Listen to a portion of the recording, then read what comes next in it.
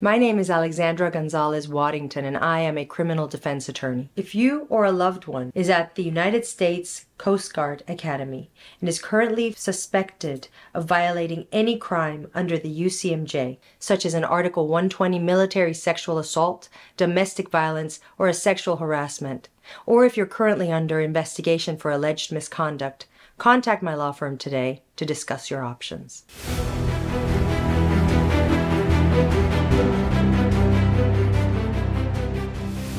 Currently, the military is coming after anyone who is accused of committing any act of domestic violence or any sexual misconduct, such as a sexual assault or a sexual harassment. They're taking a victim centered approach, which to me means that if you are accused of any serious military offense, such as an Article 120 violation, you can expect to face a zealous and determined prosecution team, regardless of whether or not the accusations made against you are false. You will be presumed to be guilty from the onset and will likely end up facing a courts martial, a separation board, or even a letter of reprimand, even if the allegations are false and unsupported by the evidence, because law enforcement and prosecutors are now trained to start by believing all those who claim to be victims.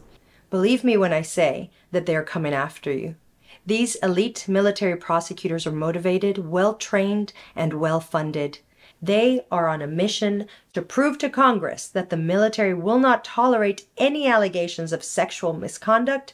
They outnumber and outgun your assigned military defense counsel, and their mission is to win at all costs. They will work hard to convict you and to see you sent off to prison in shackles. Don't become another statistic.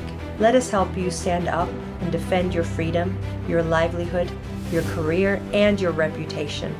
Take action now and call our law firm.